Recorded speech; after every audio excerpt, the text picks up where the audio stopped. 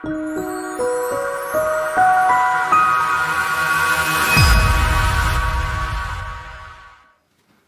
what's going on guys? Kevin Walsh from Ninja Holistic Health and Fitness. I want to talk to you today about the five stages of weight loss transformation that occur in the mindset when you're going from point A to point B. This is something that I learned a number of years ago when I lost 50 pounds, and I found it to be very, very helpful for people when they're trying to go through this process to understand how it really works so that you don't revert back to old habits and then gain the weight back later. Now, most exercise and diet programs, of course, revolve around what you do physically, but remember this the mind is what makes decisions, and the body carries them out. Your mind makes decisions, your body carries them out. So we have to fix the mind first before we start addressing what you're eating and how you're moving. So the first stage is denial. When you are first on the path to losing weight, we tend to be in denial of the things that are actually being done in our lifestyle that hold us back. So this could be something like being sedentary, eating foods that are not good for us, drinking too much alcohol, we tend to justify and say to ourselves something like, well, it's only this once, I don't do it that often. And we also tend to go to things that we're more familiar and comfortable with doing. So if our diets are poor, but we like to exercise, we typically tend to think, oh, I just need to run it off. I need to, I need to do more cardio. And if it's the opposite and we eat well, but we don't like to move, then our minds tend to go to, oh, I just need to calorie count more or something along those lines. So the first thing is you need to be front and center, clear with what you're doing that's not giving you the results that you're looking for. That takes you out of denial and puts you into the second stage. The second stage is victimhood. Now, once we recognize that we have a problem, what we tend to do is we think of the outside world as doing things to us. Oh, it's not my fault. Uh, you know, my parents did this to me. Or, you know, my, my work environment isn't conducive and there's always food there and it's always outside of us. We tend to think that we don't have control and someone else or something else is responsible for our decisions now. This is very, very difficult to get out of because the victimhood mentality makes us feel like we don't have the ability to do something, and so we go into self pity.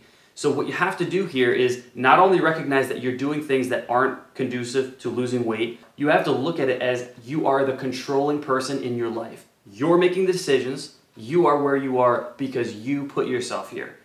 That's an empowering thing because it takes ownership of the decision making process and it helps you realize hey, if I put myself here, I can take myself out and I can make better decisions. It's up to me to do it. That takes you to step three. So now that you know you have a problem and you know that you're the one in charge to change it, you go into what I call limbo. Stage three is limbo.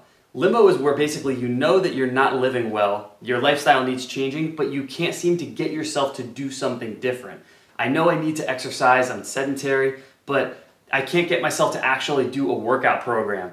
Now, when you're in this stage, you have no forward momentum. So the key to getting momentum is taking small baby steps in the right direction. So what could this look like?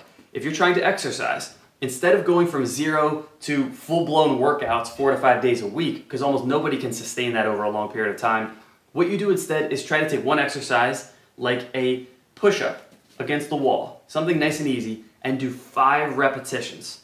That's it. So it's not going to be burning your arms, it's not going to be challenging, but what it does is it helps you to build the habit. Every single day, I'm going to do these five push ups. After you do this for three or four weeks, you're to have this habit ingrained, and then you can add another thing, and another thing, and another thing. And little by little, you're snowballing to the point where you're actually building a healthy exercise regimen. So, this is how you get out of limbo and into the fourth stage, which is momentum. When you get noticeable momentum, you're gonna start to see little results. Your body's gonna start changing, your mind is gonna be more focused, and you're gonna recognize that the person that you're trying to become is starting to come full force. It's like a ball rolling down the hill. The key at this stage is to keep hammering the nail against, uh, keep hammering the nail into the wall, the proverbial nail. Keep hitting it, keep hitting it. Don't stop the momentum has to keep going through the repetition of the behavior that you're trying to foster. And then once you get to a certain point, that will sort of carry itself. And it's no different than when you drink a cup of coffee, let's say in the morning. You don't have to force yourself to drink a cup of coffee. It's sort of automatic. You just go right to it.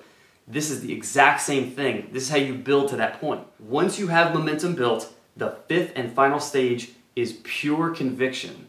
And pure conviction is the opposite of doubt. It means that no matter what I know, I am going to get a full workout in today when I wake up. Nothing's gonna stop me from doing that.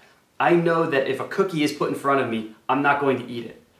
That level of conviction that no matter what, like LeBron James knows he can make a three pointer, Tom Brady knows he can throw a football. There's no doubt in their mind because they've done it so many times and the practice has been put in and given them so much momentum that they're at that point that they are totally in control. And that's the stage you want to get to is stage five, conviction. Notice how in the beginning it was all doubt and at the end here is conviction.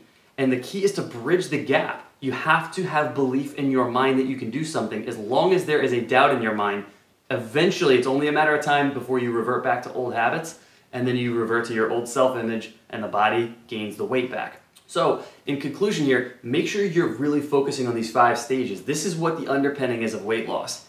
Follow this continuum and I promise you the things that you eat, the exercises, the sleeping patterns that you have, the way that you handle your stress, all these other things are gonna fall into place on themselves. They're actually really easy. You have to just master this part right here. So that underpinning is, is kind of the secret sauce of weight loss. So with that said, my email is kwninjatrainer at gmail.com. I'm always happy to answer questions that people have regarding health and fitness. And weight loss is something I'm very, very passionate about because I know exactly how this works and there is so much BS out in the industry teaching people what really is surface level when the underpinning that I just described is what is the real deal that's going to get you the results you want long term. And if you're interested in working with me one on one, I have two spots available right now in the new year. So my number is 609 577 1913. You can text me, call me, or email me anytime and uh, talk about getting together for putting a consultation for you if you are interested. So, with that said, stay healthy and fit, guys. Good luck on your journey, and I'll catch you on the next video.